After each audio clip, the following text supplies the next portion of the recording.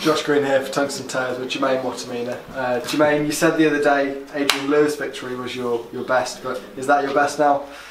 Yeah, I think so. Stage, yeah, of course.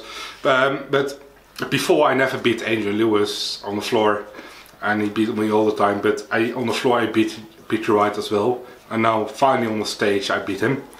Um, yeah, after this match I was so emotional because I know now I know you knew it. You knew it. You can beat him. You can beat him. Yeah, I was so happy with that.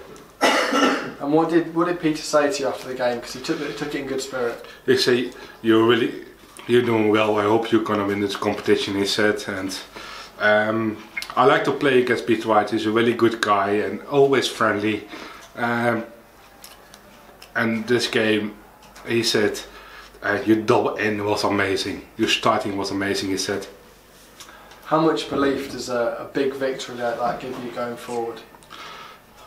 Um, big, big belief is, is this, and now I know. Hopefully, our next game against Glen Durrant, I hope so that I will. Uh, I will beat Glen.